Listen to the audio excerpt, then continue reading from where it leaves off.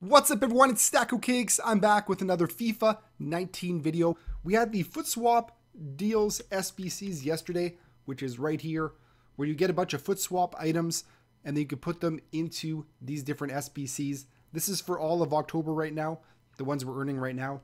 And uh, these are available in daily objectives, weekly objectives, uh, squad battles. Uh, they're available in uh, SBCs. As we'll see today. There's one available today, one new one.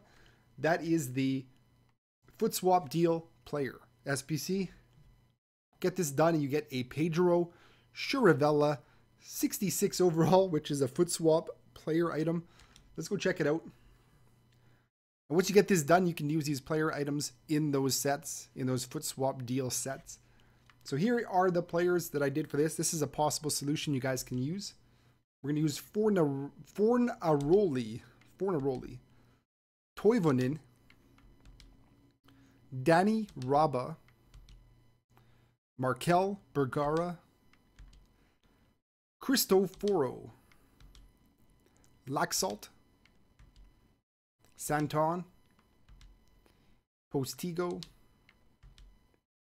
Herrerin, Bigas, and Martin.